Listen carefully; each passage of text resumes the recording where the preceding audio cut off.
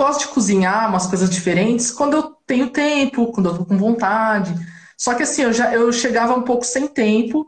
É, por exemplo, eu queria fazer uma atividade física. E aí eu não tinha tempo, porque se eu fosse é, chegar em casa, fosse para uma academia, aí fosse voltar para fazer a, a, janta, nossa, não, não, teria como, não teria tempo para tudo isso. Então, é, a falta de tempo não me deixava fazer nada, não tinha tempo para mim mesma. Se eu quisesse chegar do trabalho, tomar um banho e assistir uma série, não dava, porque eu tinha que fazer a janta, lavar louça, é, me preocupar com essas coisas todas, todos os dias, né? Então, e eu não, não gosto muito de algumas coisas assim que você faz um dia e deixa para comer no, no dia seguinte. É, tem coisa que não fica muito bem. Então, eu acabava, por exemplo, arroz todos os dias, fazia arroz. É, feijão até que não, né? Tudo bem. Mas tinha coisas que eu tinha que fazer diariamente porque eu não conseguia guardar e ir comendo, né?